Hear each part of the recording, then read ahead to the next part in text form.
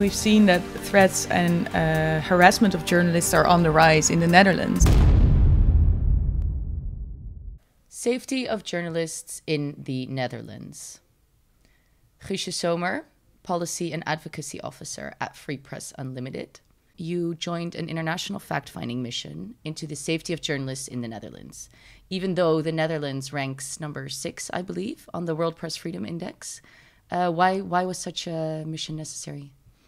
Um, well, that's a good question. Um, what we see is that over the past years, the Netherlands has been uh, praised internationally uh, for the safety mechanism that we have uh, in the Netherlands called Persveilig, or in English, Press Safe. And this is an, a mechanism, an initiative that was actually developed by the police, the Public Prosecution Office, uh, the Dutch Journalists Union, and the uh, Society of Editors in Chief. And it's co funded by uh, the government. And so, in that sense, it's a very unique initiative that, for instance, offers safety trainings, but also has protocols mm-hmm. um, about how uh, the public prosecution office should and the police should follow up on uh, press freedom violations in the Netherlands. So, in that sense, the Netherlands really serves as a good practice example internationally, also. But at the same time, we've seen that threats and uh, harassment of journalists are on the rise in the Netherlands. Uh, we've seen that the NOS, the biggest uh, public broadcaster, has decided to remove its logos from its vans because they could not guarantee the safety of their staff anymore. And we've also seen that last year, uh, Peter R. de Vries was uh, killed during broad daylight here in Amsterdam. So we received a lot of questions actually also from the international audience about what is happening in the Netherlands because on paper your safety mechanism is is so so good it's such a good uh, example but at the same time the safety of journalists is declining. Laurens uh, ECPMF was also part of this mission. Uh, can you tell us a little bit more about how this mission fits into the broader picture of the safety of journalists within Europe yeah, so it fits the this broader picture in, in two ways, I believe. On the one hand, uh, there's a number of trends uh, that we're seeing in the Netherlands that really dovetail similar developments across most European countries or many other European countries. One is the situation of women journalists.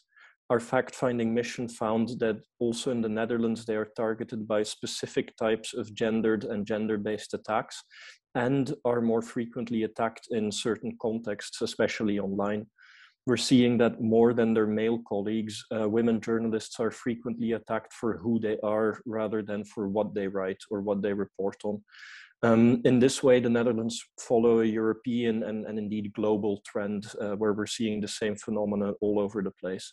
Um, another group that's disproportionately affected by media freedom in the violations in the Netherlands and Europe wide are, are freelancers. Um, a second important focus of the Netherlands mission and, and then the report as well is the interaction between law enforcement and journalists at protests. Across Europe, uh, demonstrations are one of the contexts in which press freedom violations most frequently occur, with aggression and harassment against reporters coming from both protesters and the police. Um, this is a trend that we're also seeing in the Netherlands. And also here we heard from our interlocutors during the, the fact-finding mission that tensions are on the rise uh, compared with 5, 10, 15 years ago. Um, third is the threat from uh, coming from organized crime this is less of a continent-wide phenomenon um, than, than the two previous examples. But where it is a problem, uh, say for instance in Italy, it leads to particularly severe threats to journalist safety, uh, including in the most extreme cases, of course, uh, murders. Uh, as far as the Netherlands are concerned, while uh, de Vries's murder was, with the information that's currently available, probably not directly linked to his journalistic activity. His death really sparked a debate on protecting journalists uh, against threats coming from the underworld that we're also seeing in, in other European countries where this is a problem. What I'm hearing is that these recommendations for women and uh, during demonstrations fit in line with global or at least regional trends.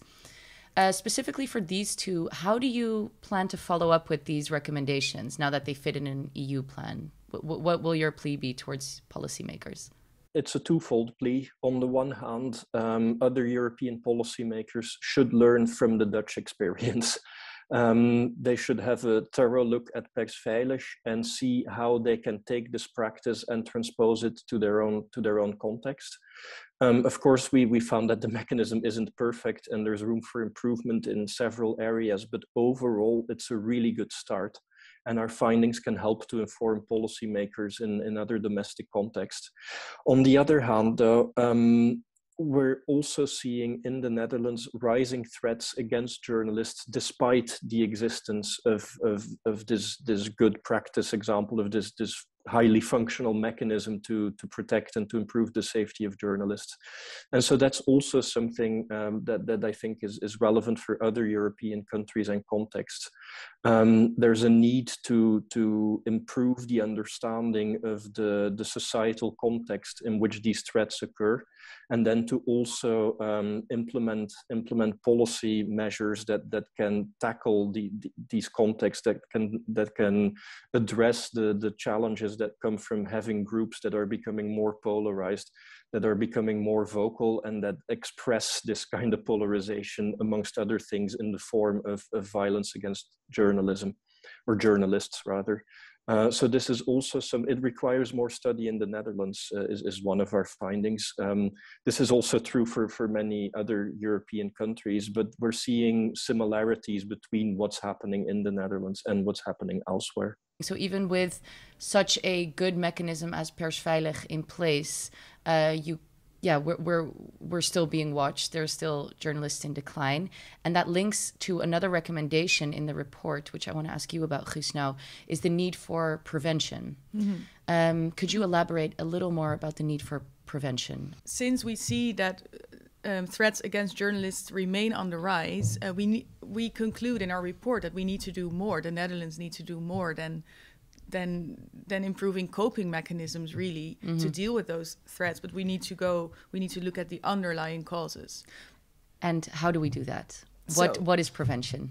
So prevention um, i think what would be a first step is to do more research into why do people harass journalists is yeah. it because of a lack of trust is it because of polarization what mm. are the reasons is it because they don't feel heard maybe we will need to find out a, more about the underlying root causes and following from that uh, we advised uh, especially the ministry of education culture and science mm-hmm. in the mm-hmm. netherlands to see how education can play a role here because for instance yeah. in media literacy um, we see that there uh, tends to be a focus on really making children more resilient to fake news, uh, yeah. uh, which is of course very important. But we think that this this should perhaps be expanded a bit, um, and maybe in education there should be more focus on um, the role of journalism in society, yeah. Um, and more about strengthening that position of journalists and of media. Yeah. Um, so that's that could be an uh, an uh, a policy uh, answer. Yeah, that that sounds very logical and important. So basically, a broader understanding of the role journalists play in society. Yeah, because that's particularly particularly important where you see that journalists are increasingly portrayed and also perceived as the mm-hmm. opponents of well sometimes the authorities sometimes uh, the people yeah. you know where uh, when we have politicians who call um, uh, the NOS fake news, for instance. This, of course, has an impact on how people perceive the NOS. And I think for that reason, it's very important that we we we, we pay attention to that and to the yeah. actual role of uh, the media. How was the research conducted? How did you go about this mission? As we said in the beginning, this uh, mission was conducted in the Media Freedom Rapid Response um, uh, Consortium, and we're a consortium of seven press freedom organizations. We're funded by the European Commission, and together we organize these kind of missions to uh, countries where we think press freedom uh, deserves a bit more attention. So first, we um, uh, together with the ECPMF and with IPI, uh, we uh, we did a lot of desk research. We also consulted the Dutch Journalist Union, the NVJ, to make sure that um, uh, that we also took their perspectives into account, uh, yeah. and we took their expertise um, into account as well. Then we had over 20 well, we had meetings with over 20 interlocutors or stakeholders, yeah. ranging from uh, the policymakers to politicians um, uh, to, of course, journalists, uh, the journalistic community, and editors in chief. But we also spoke with a lot of academic experts. Um, and the police, I believe. The police as well, indeed, because they, of course, have an important yeah. role to play also in Persveilig. Um, and um, all these, well, the the meetings were very interesting, and we also noticed that there was a lot of interest from uh, from the public as well, but also the people that we approached for these meetings. So yeah. generally, the the response was very positive. And in the past uh, month, we've been um, um, well, we've worked hard to um, uh, to analyze all the findings Yeah. and to write them down in a report. The last question to you, Laurens, and then we are rounding off. Um, if you could spotlight one recommendation, one, what would that be in the report? Uh, apply a gender lens. Women journalists face particular challenges. Um, but what we found during our research was that it was very hard to uh, gauge the, the intensity and the precise nature of the problem, in part because there's no ongoing continuous monitoring of the situation. Um, and so, so that's something that really should be integrated into the Dutch approach and where we've also proposed some really practical solutions on, on how this could be how the, a start could be made at least with with ensuring that this is better integrated into first the monitoring and then also the developing of tailored targeted solutions that work Perfect. I think uh, that's a good conclusion to end this session. Uh, apply a gender lens. That was a big recommendation of the report. Uh, thank you both so much for your valuable insights today um, and for being with us here. This was Studio Free Press Matters. See you next time.